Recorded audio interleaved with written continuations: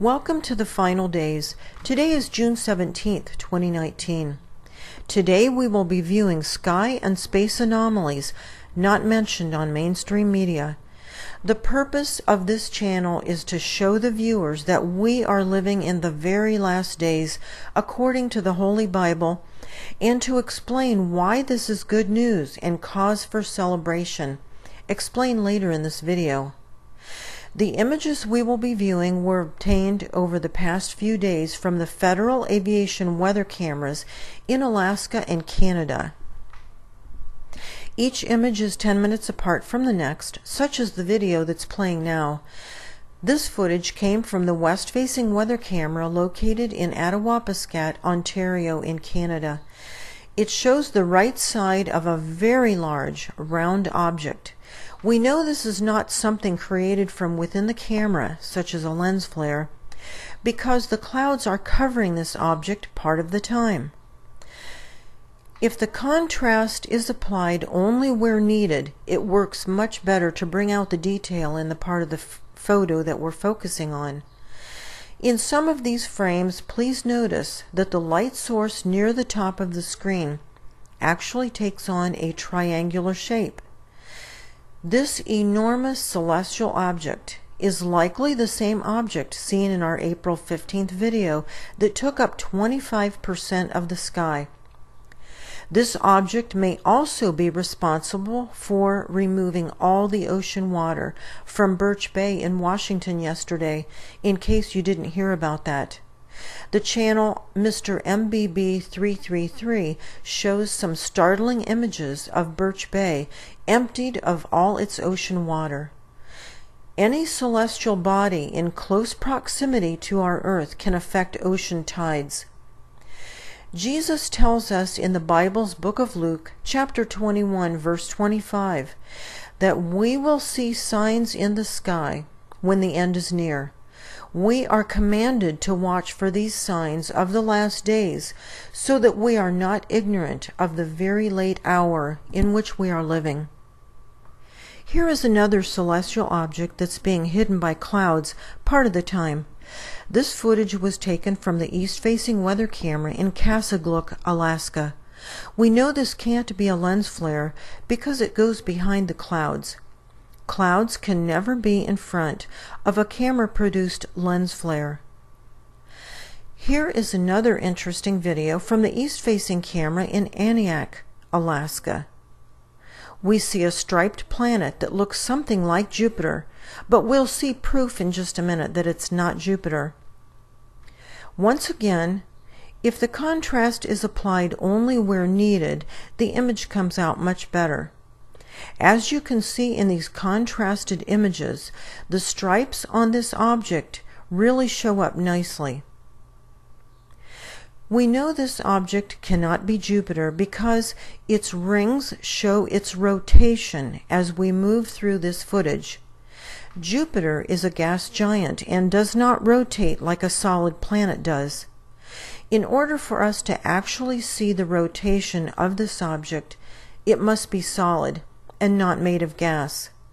This is another sign that we are living in the last days. It's tough getting good images of the approaching planetary system because the entire state of Alaska is continuously under heavy, chemically induced cloud cover. The best images of this inbound planetary system are always removed from the weather cameras. I only get what they miss. One frame from the southeast facing camera in Puntilla Lake, Alaska, contained a vertical black streak. This black line is not in or on the camera because the frames before and after do not have black streaks. Then I found exactly the same thing on the east facing camera in Rohn, Alaska only one frame contained the same black line. The frame 10 minutes before and the frame 10 minutes after did not show the black line. Additionally, the black line is coming directly from the center of the light source above the screen. A further look at the footage from the Rohn, Alaska camera shows a string of round objects. Only one of these can be a lens flare. Actually, none of them are a lens flare because in the last frame of this footage, they are completely hidden behind the clouds. A camera produced lens flare can never become hidden behind clouds. The east facing camera in Yukon River Bridge, Alaska, shows a round sun near the top of the photo. However, 10 minutes later, that same sun becomes a triangle. This is yet another sign that we are living in the very last days. Some of you may recall this skull-shaped object we showed on April 15th, viewed from the Cape Spencer camera. This same object was visible from the south-facing camera in Barrow, Alaska three days ago on June 14th. The craft that always accompanies these celestial objects is marked with an arrow. In just a minute we'll see a better image of that craft. This object has obviously been heavily pummeled by asteroids and other space debris. There are many more objects connected with the foreign system that has now intermingled with our solar system. But due to the heavy cloud cover over the vast majority of Alaska and Canada, these images are only available on a few cameras at any given moment. I really feel sorry for those individuals who are having to depend upon solar energy for their electric needs. This has been the cloudiest year on record since the 1816 year without a summer, caused by a massive volcanic eruption in what is now known as Indonesia.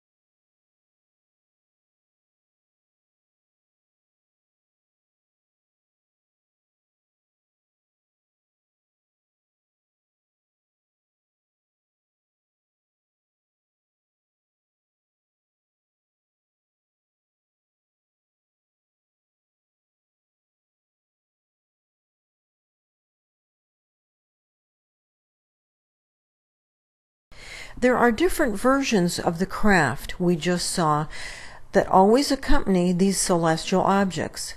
This reflection of the craft shows up as a bright pink object with a propeller near the front. Note it's only a reflection. This craft tows an object not visible here. The towed object actually acts as an umbrella to prevent sunlight from hitting the celestial object so that it doesn't become illuminated and thus more visible. Untold trillions of dollars have been spent on the technology to hide this inbound system. The enemies of Christ do not want you to know how close to the end we are. The enemies of Christ do not want you to turn your life over to Jesus before your time runs out. A couple minutes ago, we viewed footage from the south-facing camera in Barrow, Alaska. This is the east-facing camera in Barrow, close to about the same time.